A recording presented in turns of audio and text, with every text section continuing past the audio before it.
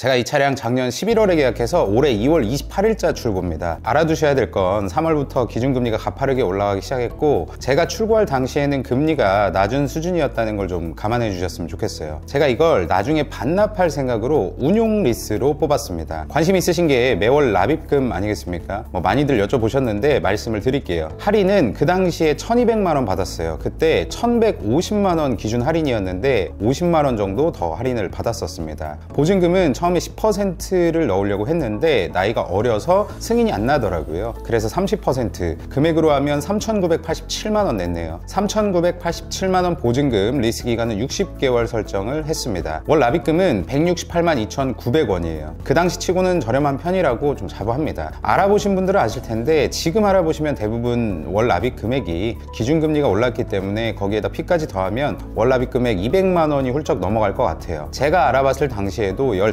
군데의 견적을 넣어봤던 것 같은데 대부분의 견적이 월 납입금 190만 원이 다 넘어갔었어요. 유튜브 채널을 운영하시는 분들에게 견적을 받아도 거의 비슷하더라고요, 저는. 여튼 현재 제가 사용하고 있는 상품의 금리는 고정금리로 3.0748%예요. 자세한 계산 방법은 회사마다 다 다르겠지만 저는 이렇게 이용을 하고 있다 생각하시면 됩니다. 리스 fee는 0% 출고입니다. 빵fee예요. 리스 fee가 뭐냐면 쉽게 말하면 다 아시는 분들 아시겠지만 이 리스 상품을 발생시킴에 따른 금융 수수료 입니다. 대부분 1P를 주시는 분들도 있고 대부분 3P를 주시는 분들도 있고 영업하시는 분들마다 다 다른데 저는 어쨌든 유튜브를 하고 있고 함께 촬영하는 딜러분한테 뽑았으니까 0P로 출고를 해주시더라고요. 근데 저는 유튜브를 안 했다면 1P 정도는 용인할 수 있었을 것 같아요. 제가 유튜브를 하는 걸 말을 안 하고 1P 정도 견적서를 유일하게 받은 곳이 이거는 제가 광고에서 이렇게 이야기하는 게 아니라 실제 사실이니까 말씀을 드리는 건데 개차에서 알아봤을 때 1P 견적서 받았습니다. 그때 받았던 견적서가 170만 원인가 171만 원인가 그랬었어요. 월 납입 금액이. 그러니까 정말 어떤 사람이 견적서를 짰느냐에 따라서 많이 달라집니다. 월 납입 금액 자체가.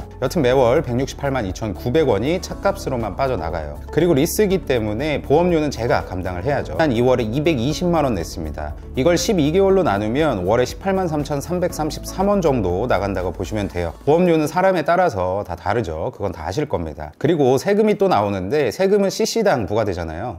4,400cc짜리 배기량에 차다 보니까 연에 114만 4천 원이네요. 196만 1,566원 여기까지가 제가 차를 한 번도 안 타고 세월만 뒀을 때 매월 나가는 유지비입니다. 근데 여기서 끝이 아니죠. 가장 중요한 유류비. 이 차는 복합연비고 나발이고 밟는 만큼 돈이 새 나간다고 보시면 돼요. 저는 지금까지 일반유를 넣은 적이 없는데 차를 출고하고 고급류 리터당 1,900원 밑으로 거의 안 떨어지다가 요즘은 많이 떨어졌어요. 여튼 한 번 주유할 때마다 12만 원에서 13만 원 정도 주유를 하는 것 같아요. 이렇게 넣으면 천안 안 막히는 시내를 주행하면 350km 정도 주행하고 주유를 해야 됩니다. 넉넉히 잡아도 400km 정도 보시면 돼요. 시내만 타신다면. 그리고 수도권에서 탄다고 하시면 아마 300km 정도 타시지 않을까 예상을 하고요. 제가 지금까지 7,400km 정도 탔으니까 21번 정도 주유를 했다고 보시면 되고 평균 금액으로 1회 주유 시 12만 원 정도 지출을 했다고 가정하면 지금까지 총 252만 원을 사용했고 이걸 타기 시작한 3월 1일부터 매 월로 나누면 31만 5천 원의 주유비를 사용했네요. 이 정도면 많이 탄 건 아닌 것 같은데 적지 않은 주유비가 나갑니다. 이렇게 한 달에 1000km 정도 약간 안 되게 운행을 하고 이 차를 유지하는 데 나가는 금액이 227만 6,566원 정도 되네요. 이렇게 유지비를 이야기하면 BMW 타는데 그 돈을 주고 타냐 그럴 바엔 포르쉐나 벤츠를 사겠다 하시는 분들도 계신데 제가 포르쉐 카이엔 터보 견적서를 받은 적이 있거든요. 월 납입금을 보는 순간 두 손 모아서 겸손해지더라고요.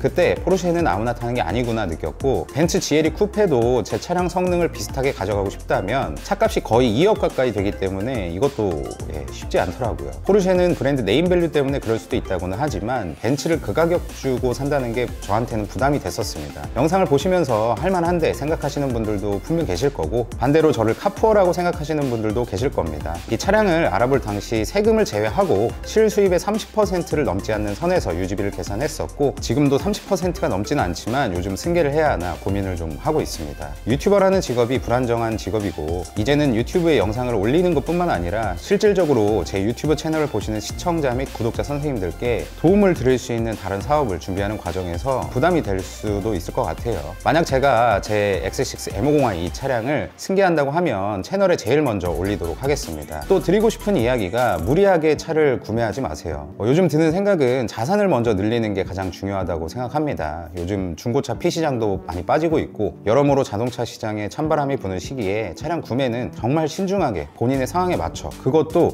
최소한으로 낮춰서 차량을 결정하셨으면 좋겠습니다. 이번 영상 여기까지고 도움 되셨다면 구독이나 좋아요 둘 중에 하나는 꼭 눌러주세요. 시청해주셔서 감사드리고 항상 건강하십시오.